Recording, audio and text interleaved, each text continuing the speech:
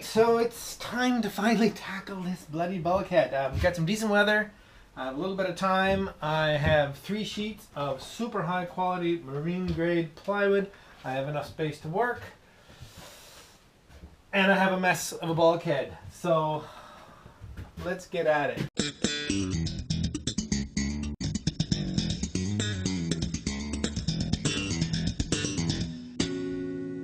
Um, as I might have mentioned before, um, the bulkhead comes up right underneath the uh, cabin top plywood and is screwed into this timber here. So I have to continue to dig out all this um, wood that's been put in here to provide a that was there for the support for this eyebrow piece. And then I'll have to get all those fasteners out.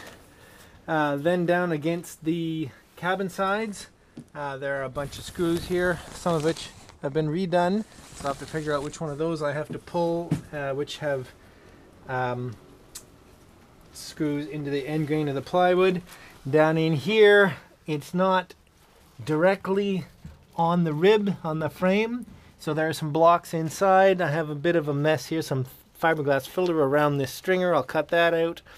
Um, and then down at the bottom, it appears to be screwed or fastened to the forward side of that floor member.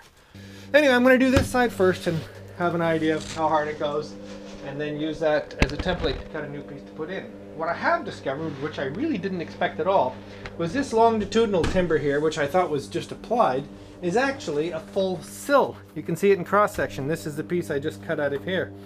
Um, so what it means is there's a lower bulkhead and then a sill which goes right through and an upper bulkhead. Well, you might think that's might make it easier to deal with. It certainly solves some of the problems I have about coping onto the stringers because now this bulkhead could go on in that direction. This bulkhead could go on more straight on if I rebuilt it the same way. I had always intended that these pieces of plywood would go straight from the cabin top to the bilge. It certainly would be a lot stronger. Um, of course, this is rotten, that's why it's weak, but I'm not sure I want to rebuild it the same way. I can see why they did it because they wanted to be able to make sure that any water here was cast down over the cockpit sole when it was when it was installed. But I think I can do that um, with more modern techniques with a reglet and some flashing in there and some better sealants. Anyway, I'm just relatively certain I'd rather do this in one piece, although it'll be quite a bit harder. So let's see how it goes. At any time I can bail and cut it at that point and do a lower piece and an upper piece and rebuild a sill like this in some much nicer wood than this. I mean, I don't know what this once was, perhaps white oak, but I'll redo it in something uh, probably mahogany. Okay, I have to cut away some of these pipes and wires and some of the other stuff I've shown you. Time to get to it. Cheers.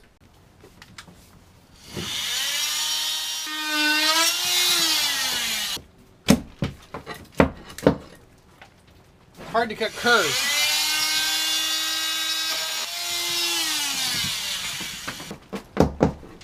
Very yeah. Nice. Okay, so I have the screws out down the side. I won't bother showing you that. I'm starting to take out the fasteners in here. Pulled this big chunk of silicone out of here. And what did I find? The head of a carriage bolt. Well, I don't know why I didn't notice that on the inside here. There's a row of nuts um, on, uh, on threaded bolts. So that may be to my advantage. If I can just loosen all those, I may be able to just tap this off. Maybe all the old fasteners have already packed it in and uh, that'll come off. There's already been a repair here, I can see, certainly here, and by the looks of it, all of this has been repaired. Um, because certainly there's something going on in here, and whatever was causing this rot, the problem wasn't fixed because it's rotten again. So uh, let's get those nuts off and let's see if I can start to just gently see if I can get this to move. I have some stuff to remove down at the bottom, but it's going to come apart in two pieces anyway. Let's get to it.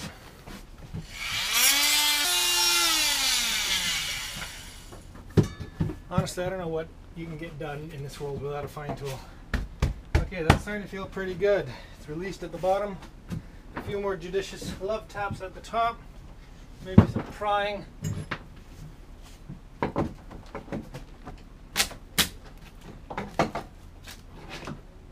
we go.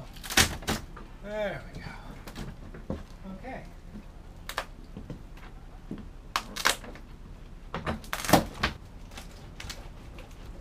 Again, I'm trying to keep the upper part and the lower part together so I can use it as a single template. But to get it to come out sideways, I'm going to have to cut a notch there so that it can slide over the stringer, as I will when I actually put the new pieces in. But it looks like it's just about off other than that notch. The notch.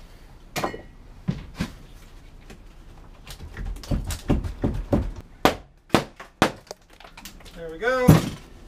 And I have one bulkhead section removed, such as it is. I don't think it's going to make much of a template. Well, not completely useless anyway. Okay, well, this person did quite a nice little inlay. I'll take you off your tripod here for a second. When this repair was done, the last section here, oh sorry, this section here now, um, they had an opportunity to lay in a piece of mahogany in here uh, to fix up the, the rod in there. That's really, really quite nicely done. So uh, this also was all repaired up in here. Unfortunately, it has to be all done again. Um, but I can live with that. Could be worse. Not too bad at all. Wow. Well, there are the various pieces of uh, this side of the bulkhead. Um, no, that's this way. It's funny, I sort of dread getting this nice new mahogany dirty, but it's all part of the process. Okay, so let's see if I can get the template drawn onto here at all. Okay, I'm going to say that is good enough and it's high enough that when I put that piece in to draw the last piece of the arc, I'm good. Now I just need to find a pencil. Bear with me.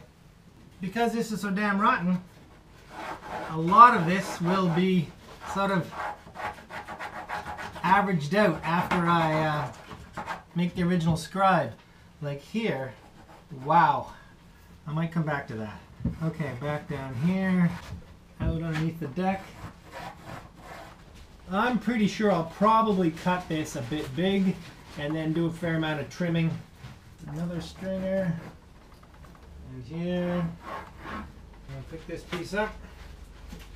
Set it where it goes in here. This top edge is also beveled. So from here to somewhere in here, I've got to put a bevel on that because the cabin top comes down on a slope. Okay, haul this off here. It can fall apart now. Well, probably rather it didn't.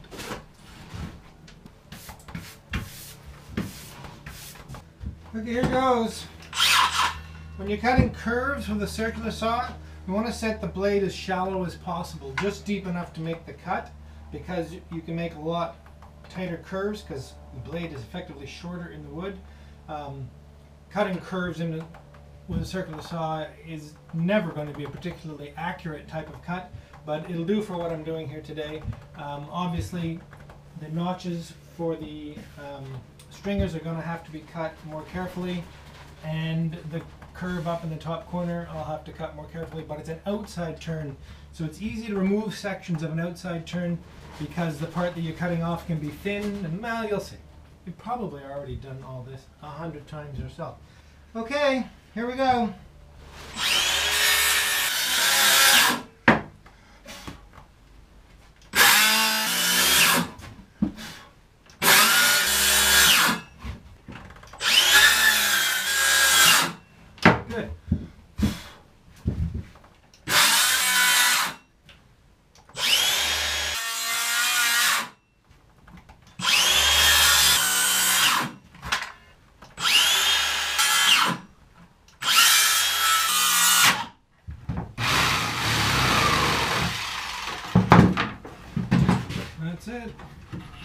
Alright, here's my new bulkhead.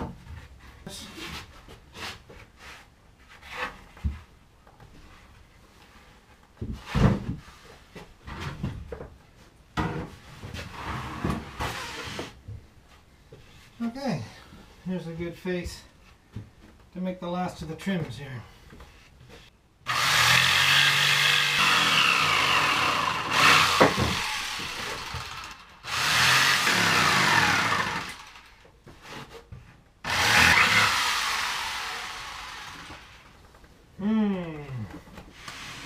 this thing.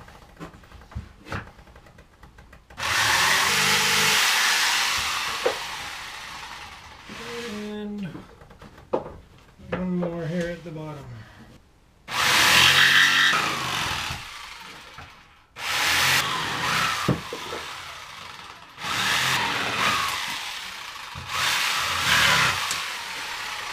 All right.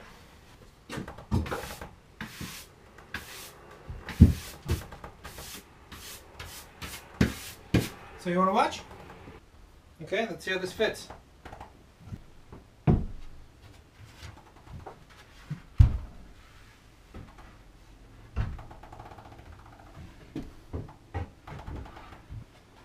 know, it all looks great, except for the curve. It's not quite sharp enough. Anyway, it's going to be fine. Well, there we go, done. It's not pretty uh, perfect, but it's pretty damn good, and it's perfectly parallel to where the other side was. Um, so that's really got me pleased. I would say I'm very, very, very pleased with that. Okay, so I'm finishing for the day. Here's the remainder of the bulkhead out.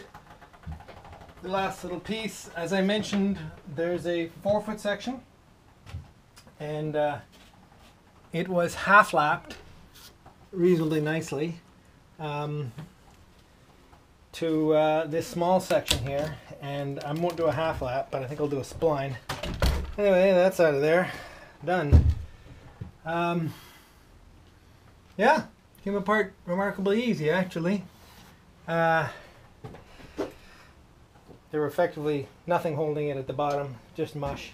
And again it was in two pieces so this is the piece that was down in the bilge below the um, drip edge line. I would call it a drip edge from my house building years.